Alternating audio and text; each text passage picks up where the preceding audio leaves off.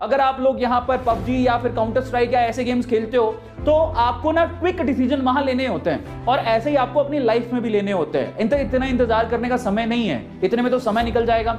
आज के टाइम पे सबसे ज़्यादा किस चीज़ की वैल्यू है? टाइम की। पैसों की नहीं है। टाइम की वैल्यू है। किसी अमीर को पूछोगे "भैया, समय नहीं है मेरे पास। मुझे समय की मुझे खरीदना होता तो मैं समय खरीदता। मुझे 24 घंटे नहीं, मुझे 24 घंटे से ज़्यादा चाहिए। और उस स्टेज पे मैं भी पहुँच चुका और मुझे भी कभी कभार फील होता है कि मेरे पास 24 घंटे ही क्यों है। समझ में आता है? पहले हमको 24 घंटे भी ज़्यादा लगते हैं जब हम स्टूडेंट होते थे। आज मुझे 24 घंटे भी कम लगते हैं। मुझे ऐसा लगता है कि शायद मेरे पास कुछ ज़्यादा समय होता तो मैं शायद ज़्यादा कुछ कर पाता। सो ट्राई टू अंडरस्टैंड हर बार आपके परसेप्शन चेंज होने लगते हैं।